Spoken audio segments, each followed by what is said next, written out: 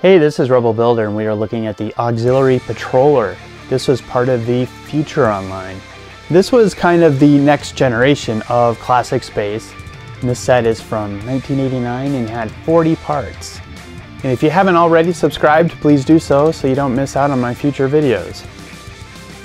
So this really is just a simple little ship. It only had 40 parts and just right away, you know, they don't really build many things like this anymore. If this was one of the little Star Wars battle packs, we would get four minifigures with it. And you know, times were different back then. We didn't kind of fanboy over the, the minifigures as much as we do now. So the ship is really simple. There's just some hinges in the back. This kind of connects and pops off.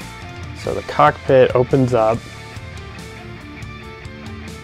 And these little wings on the side, these are actually on hinges. So they can swing in like this and you can still close the lid on it. You can see the printed tile there with the little computer control panel. And this was when we started getting more detail into the sets like that. And here is our Futuron Spaceman. Now these are definitely an evolution up from the classic Spaceman like Benny was. But they have a different torso there, kind of a zipper, but the same classic space logo on their chest. And then this was when the new helmet design came out where they added the visor and you can see the blue visor he's got there. The Futuron line was always one of my favorites. I think for me this was kind of the peak of my building.